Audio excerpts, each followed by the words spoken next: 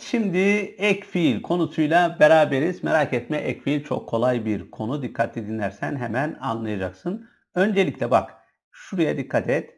Ek fiilin iki tane görevi var. Şuraya birinci görev, şuraya da ikinci görev diyelim. Birinci görev isim soru sözcük ve gruplarını ne yapar? Yüklem yapar. Yani burada bilmen gereken nokta şu. Eğer bir cümlenin yüklemi isimse isim yükleminin sonunda mutlaka ne vardır? Ek fiil vardır. İkinci görev ise basit zamanlı fiilleri birleşik zamanlı yapar. Peki bu ne demekti? Birleşik zamanlı fiil demek iki tane kip demekti hatırlarsan. Demek ki bir yerde iki kip varsa ikinci kip nedir? Ek fiildir. Yani toparlayacak olursak yüklem isimse mutlaka ek fiil var. Birleşik zamanlı fiil varsa mutlaka ek fiil var diyebiliriz. Evet.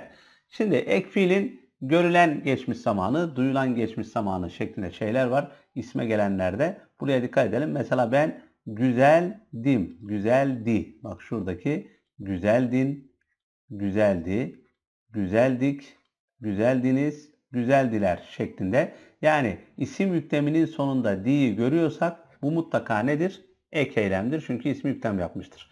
Aynı şekilde miş eki bak güzelmiş, güzelmişsin, güzelmişiz, güzelmişsiniz, güzelmişler. Miş eki de isimden sonra gelen miş eki de ismi yüklem yaptığı için yine nedir? Ek fiildir.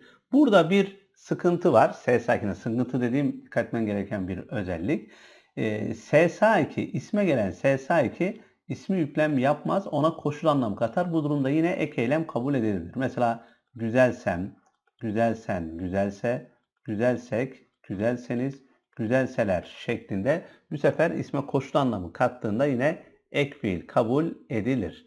Ek fiilin geniş zaman çekiminde ise burada genellikle şahıs ekleri devreye girer. Mesela güzelim, güzelsin, güzeldir, güzeliz, güzelsiniz, güzeldirler. Yani ben güzelim, sen güzelsin, o güzeldir ve her zaman güzeliz, güzelim, güzelsin anlamları katıyor. Dolayısıyla bunlar da ek fiilin geniş zamanıdır. E, bu arada ek fiilin e, olumsuzu ise değil sözcüğüdür. Mesela doğrudur, doğru değildir. İyidir, iyi değildir şeklinde ya da öğrencidir, öğrenci değildir şeklinde ek fiilin olumsuzunu ne yapabiliriz? Yapabiliriz.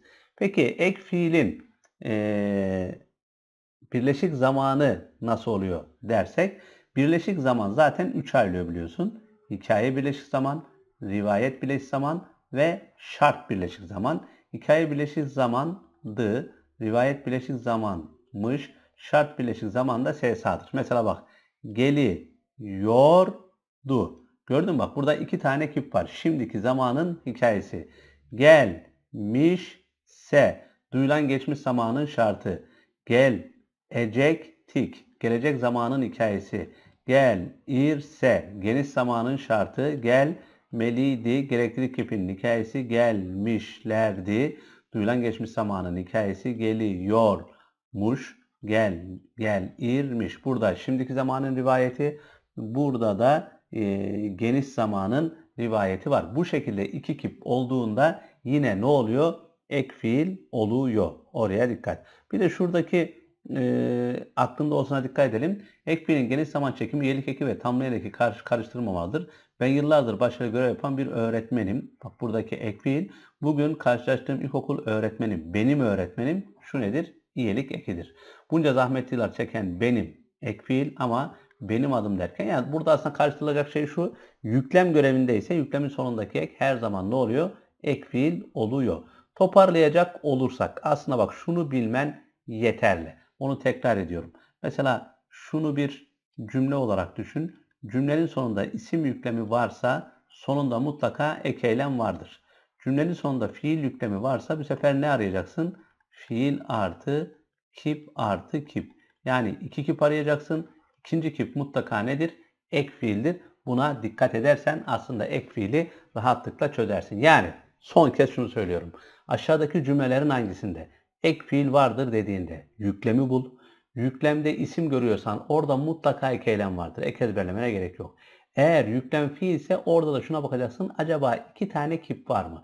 İki tane kip varsa birinci kipten sonra gelen ikinci kip mutlaka ek fiildir diyor ve konuyu bitiriyor.